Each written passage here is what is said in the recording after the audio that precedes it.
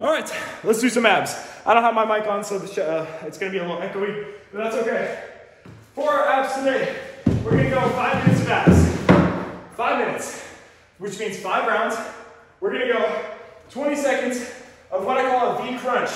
For the V crunch, we're gonna go hands down, lean back just a little bit, knees come in, extend out, in, out. 20 seconds here. Right after 20 seconds, I'm gonna go feet down, lean back, no arms on the ground this time, twist my shoulders for a Russian twist. And I'm gonna go feet on the ground for this one. You can leave the feet off, but it's a lot of hip flexor work between the two exercises. So, 20 seconds of Russian twist, and then we get a 20 second rest.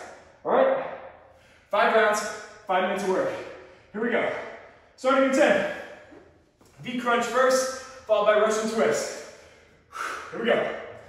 Three, two, one. Let's work those abs. Go, in and out. You're gonna feel this abs, lower abdominals, into the hip flexors, into the quads.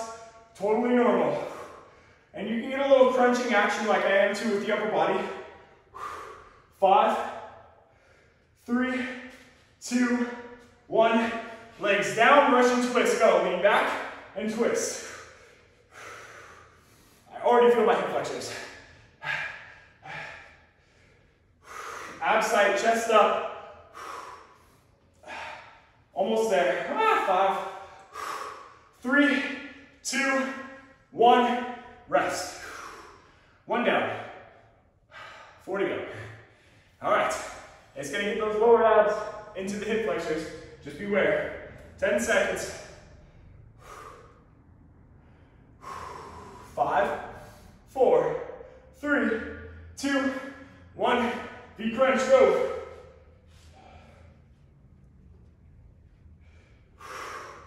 You don't have to move fast. Still effective. Nice and controlled. Oh man. Five seconds. I blame it on my big quads. Two, one. Woo. Let's do some Russian twists. Go.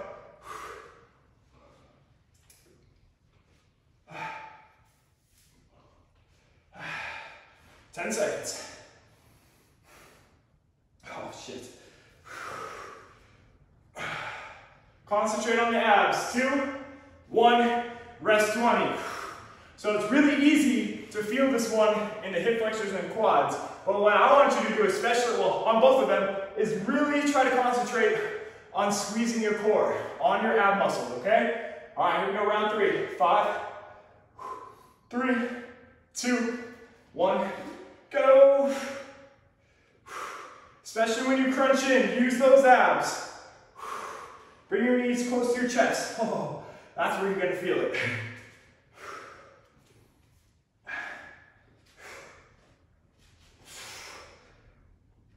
Two, one, oh, Russian twist. Let's go. Concentrate on your abs here. It's really easy to feel my hip flexors working. Really gotta get that mind muscle connection with the abs.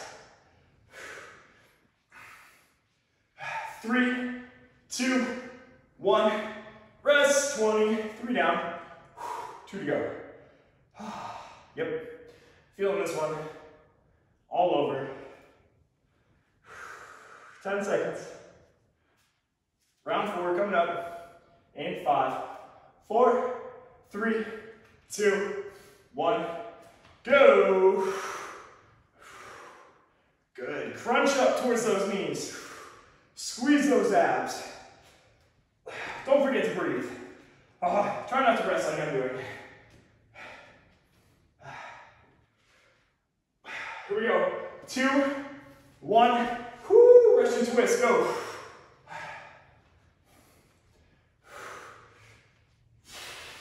Tighten that core, tighten that core. I like to feel my ab muscles, make sure they're contracted. Three, two, one, rest. Four down, uno mas. One more, that's it. We'll stretch out those abs and hip flexors. 10 seconds, here we go. Five, four, three, two, one, go.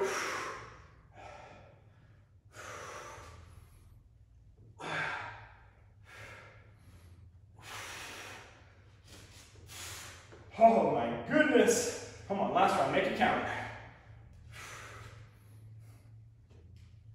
Two, one. All right, here we go. Russian twist, go. Pump myself up.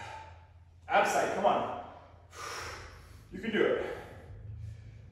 10 seconds. 10 seconds of your life, it's gonna burn.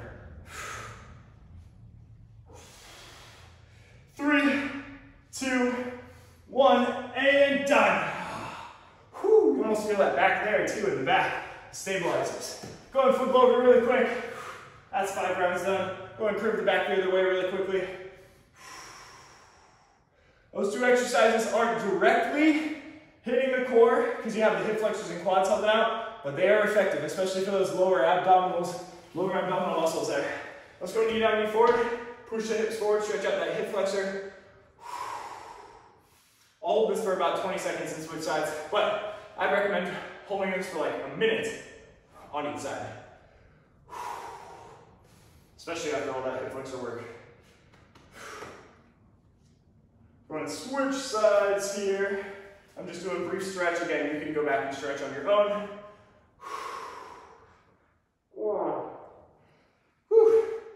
That was a good workout.